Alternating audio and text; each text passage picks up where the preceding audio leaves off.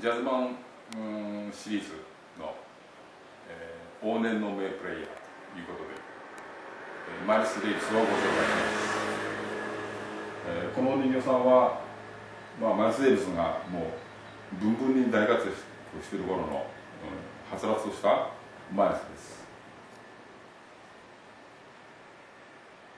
雰囲気が出てますでしょうかね。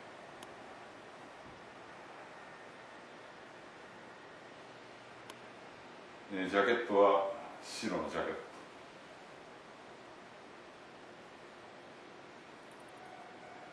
ちょっとこ